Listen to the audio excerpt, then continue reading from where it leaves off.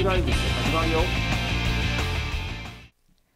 まだまだ上着は手放せませんが、暖かい日も増えてきました。もうすぐ春ですね。1、2回生の皆さんは学生生活を楽しんでいますか？バイトに恋に友情、そして学問と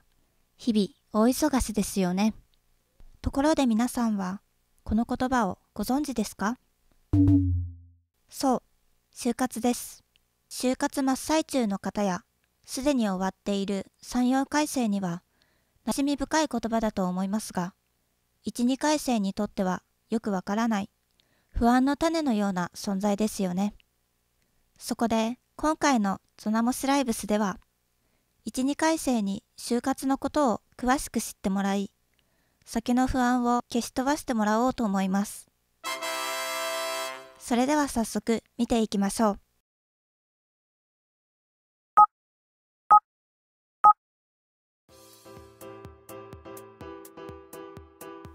就活におけるスケジュールについてお話ししたいと思います。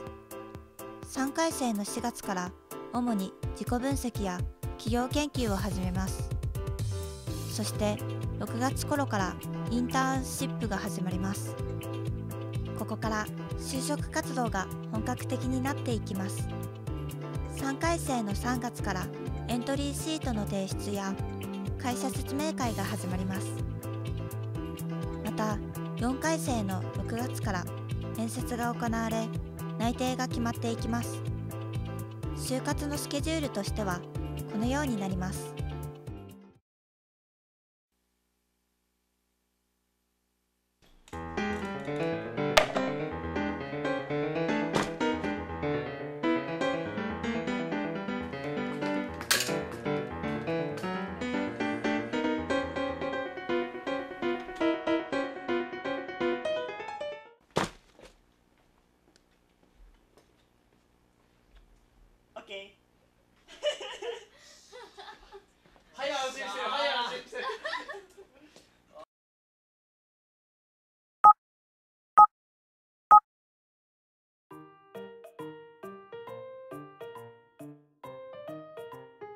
からは就活における服装とマナーについてお話ししていきたいと思います。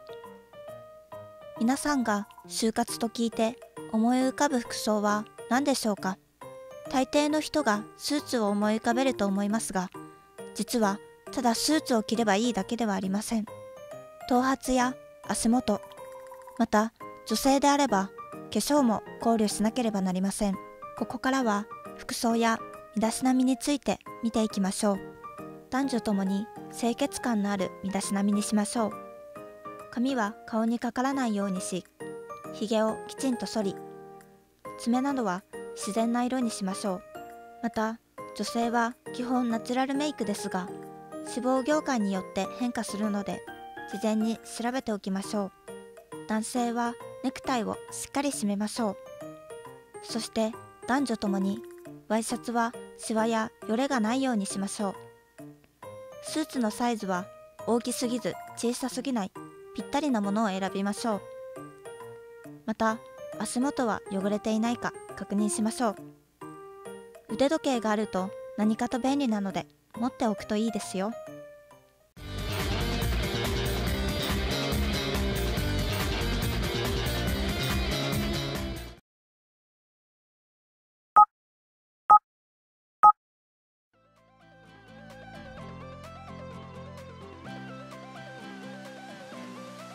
エントリーシートを書くにあたってポイントは大きく分けて6つに分けられます。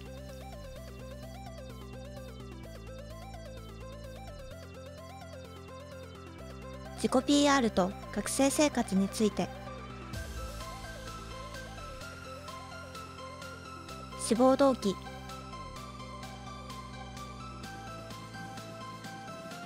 企業とのマッチング。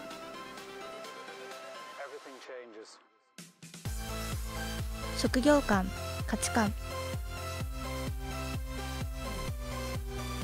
学業。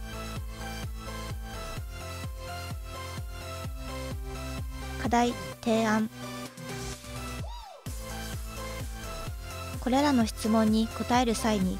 初めはうまくまとまらなくて困ってしまうこともあるでしょう。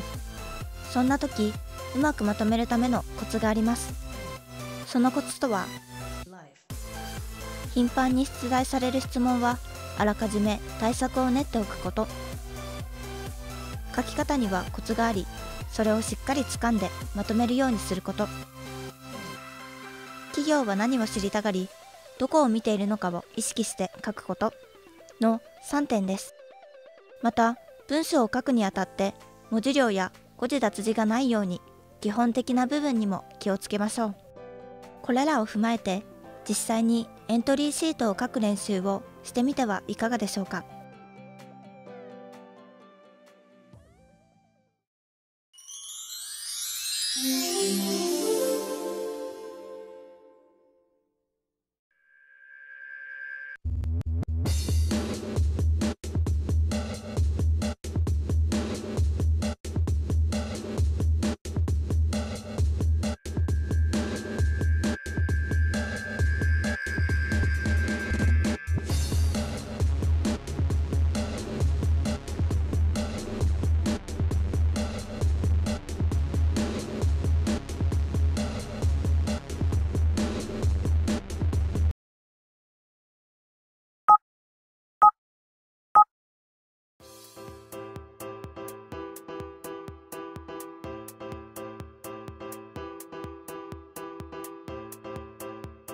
はい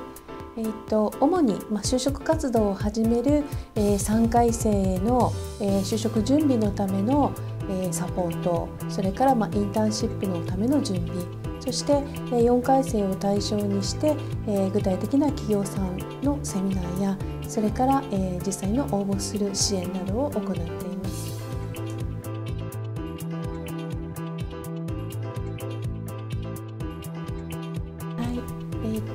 ず、え、インターンシップに関しては、えー、事前指導ということでマナー研修のようなものを、え、体験してもらうんですが、え、その手配やそれから、え、実際にインターンシップに行く企業を決めるために合同説明会や、え、そしてその後あの実際の応募などについての支援を行っております。それから、えー、実際の就職活動の支援としては、えー、10月ぐらいから、えー、就職ガイダンスということで大人数のセミナーとそれからまあ50人ぐらいの体験型の、えー、少人数のセミナーとそして個別の相談などを、えー、主な支援としております。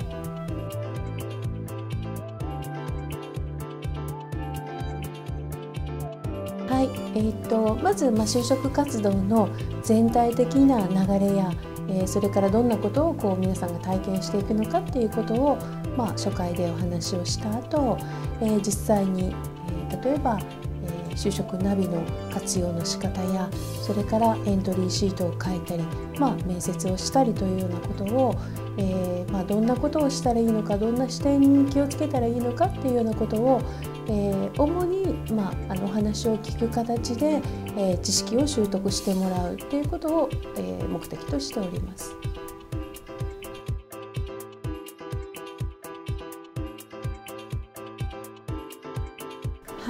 と、少人数のところでは知識として知ったことが必ずしもできるわけではありませんので、えー、そこを実際に体験しながら自分が難しいなと思う点やそれから、えーまあ、実際にやってみての疑問点などを、えー、そこで、ま、経験しながら、え、習得してもらうということを目的にしております。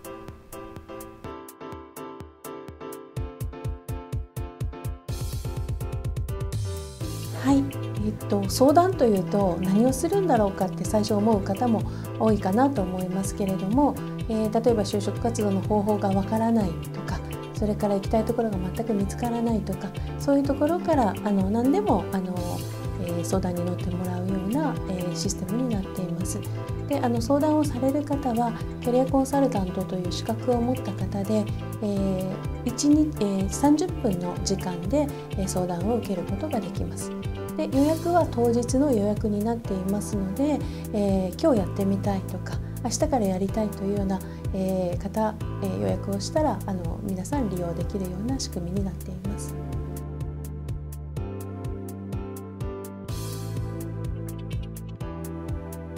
1年生を対象にしたアンケート調査でも就職かつ就職がちゃんとできるか不安っていうような声がたくさん上がっているようです。でもしかしたら不安に思っていて今から早くから準備しなくちゃと思っている人もいるかも分かりません。えー、ただエントリーシートの書き方とかそれから面接で話すことそういう準備を今からする必要はありません。で面接試験というのは、え企業の方々は、一緒に働ける仲間としてどうなのかっていう視点であったりとかそれから、えー、まあ、今はできなかったとしても5年後10年後活躍してくれる人かどうかそんな視点で、えー、多分面接や、え、試験を通して、え皆さんを見ていくんだと思います。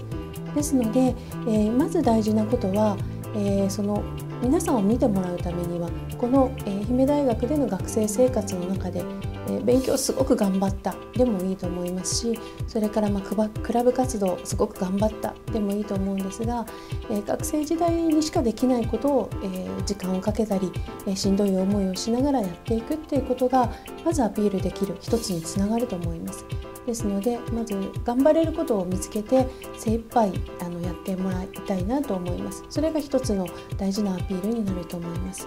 それからもう一つはえっと1年生の時に、キャリア形成ハンドブックという冊子を皆さんにお配りしています。で、まあ、就職活動の時期にも使えるものにはなっていますが、えー、っと例えばその中にですね、まあ、自分自身を振り返るページがありますのでそういうところをまやってみるのも一つでしょうしそれからあとは、えー、そうですね企業のこととかそれからまあ働くことっていうようなこともこのキャリア形成ハンドブックの中にありますので、まあ、あの今から、社会人の方と、出会う機会を作ってお話を聞くとかそれから例えば企業の方が来られる授業などを履修するとかいうような形で世の中や社会に出てからのことに触れておくということも就職活動にきっと役に立つのではないかなと思います。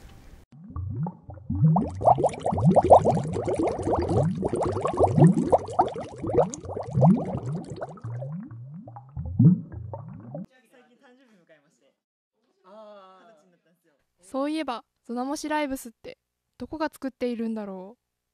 う？え知らないんですか？そこのあなた。よいしょ。ゾナモシライブスはメディアサポーターズ映像部が制作しています。そう私たち MSBT は愛大生のため日々さまざまな情報を取り上げているのだ。へえ就職支援課の取り組み。就職支援課が就活生に対して行っているさまざまな支援についてその一部を紹介していきます。個別就職相談学生からの相談の受付や履歴書の添削模擬面接など就職セミナー就活の効果的な進め方や企業選択について学ぶセミナーエントリーシートや面接対策など実践型のセミナー。学内企業説明会。多彩な企業による学内での個別企業説明会の実施。この他にも就学支援システムでの求人やインターンシップに関する情報の提供就活に関する本の貸し出しフリーペーパーや履歴書封筒の無料配布など多くの学生支援を行っています。これ以外にもさまざまな取り組みをしているのでぜひ就職支援課を利用してみてください。また図書館の働く応援コーナーにおいて地域の企業を特集した本やビジネス本など就活に役立つ本を多く揃えています。こちらも合わせて利用してみてください。